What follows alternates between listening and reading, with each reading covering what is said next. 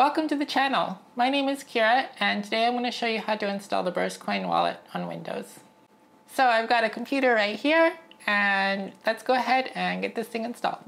First things first, open your web browser and let's Google Burst Wallet and we're going to look for the one which is from burst-coin.org and we're going to download wallet and click that. From the download wallet page, we're going to go to QBundle and click that. It'll take you to a GitHub page and you'll see this v1.9 installer. And we're going to get the QBundle underscore installer 1.9.msi.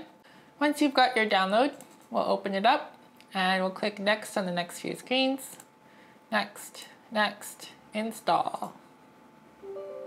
And yeah, let's do the thing. And now we can launch QBundle and we'll click finish. It'll tell you it's got some missing components most likely. So just go ahead and click the download missing components button.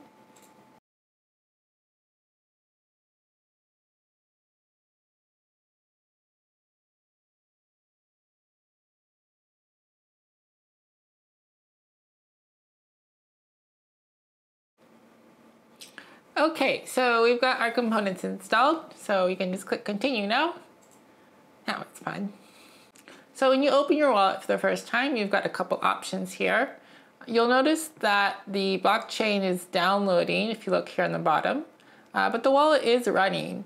It's just, it's gone back in time and it doesn't have all the transactions of recently. So it'll take a really long time to synchronize those transactions. But there's a way you can speed that up and I'm gonna show you how to do that. But first things first, let's make a wallet. So in order to make a wallet, you'll click this don't have an account, click here to create one. And it'll give you this automatically generated passphrase. And this is super, super, super, super secret and you don't wanna give this to anyone. So you can take this and write it down in a very safe place. Uh, because this is, goodbye Froggy, because this is for you guys, uh, it's not gonna be that secret. So I'll keep this down here. And once you've got that down in a safe place, we'll just go ahead and click next. And you can test your new password here. And it logs you in. And now you've got a wallet. Um, this is your address. You can give this address to other people. They can send you a Burstcoin. You'll notice though that there's really nothing here. Uh, the blockchain is still downloading. So I'm going to show you how to speed this up. First, we're going to stop the wallet. We'll go wallet, stop wallet, and we'll wait for the wallet to stop. Okay, the wallet is stopped. We are going to import database. And we're going to import from repository, Crypto Guru repository, da da da, and then we're going to start the wallet when the import is done. Cool. Click start import. All existing database will be erased. Sure. Why, hello, Froggy. I have a little froggy on my shoulder. Doop, doop, doop.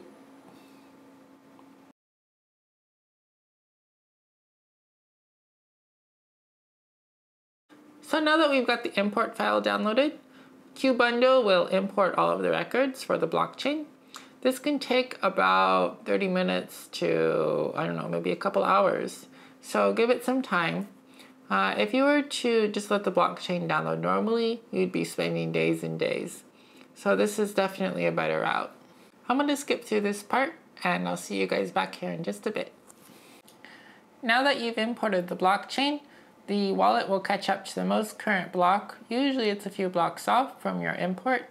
Sometimes the import even goes back as far as the beginning of 2018.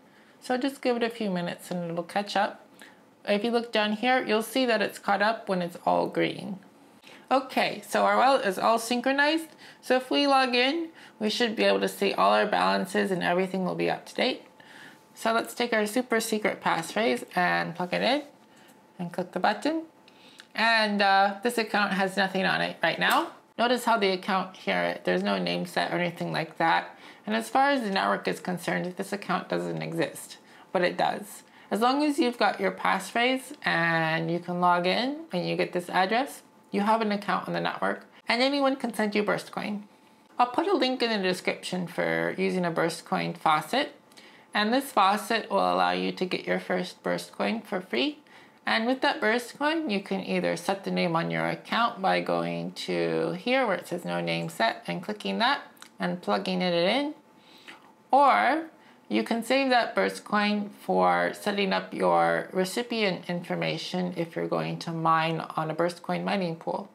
And there'll be more videos about that soon in the future. Your burst coin wallet will stay synchronized as long as you have the wallet open on your computer. But this may not always be desirable because you might forget to open it or something like that. So there's a way you can make it so that the burst coin wallet will always stay up to date and it's very easy. Just go to wallet, stop wallet.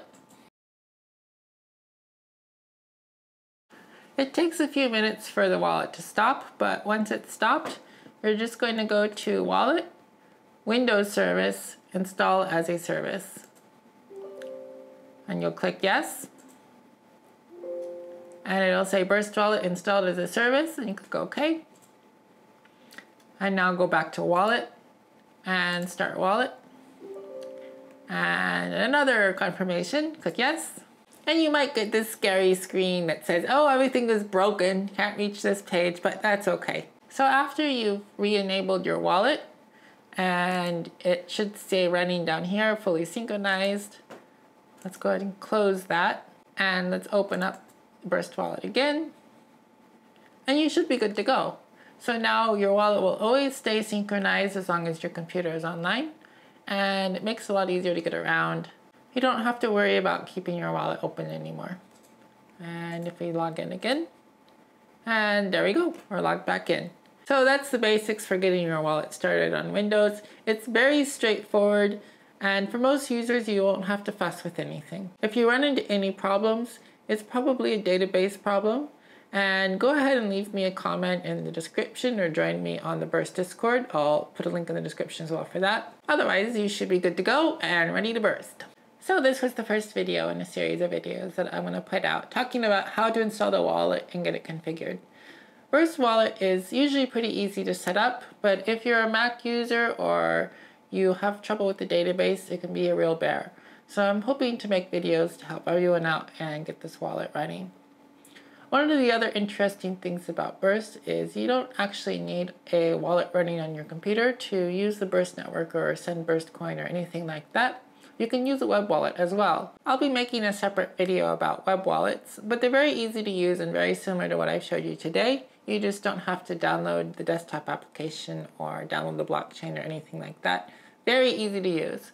So check out those links and if you'd like to learn more about them, uh, stay tuned for my next video. So that's it for this video, just a basic rundown on how to get the Windows wallet running. If you like this video, hit the like button and subscribe to the channel. That way you get great burst videos in your inbox every week. And if you'd like to support future Crypto CryptoFroggie videos, uh, go ahead and check out my Patreon link in the description. Anyways, that's it for this one. Stay tuned for more wallet and Burst Coin videos in the very near future. Thanks guys, see you later.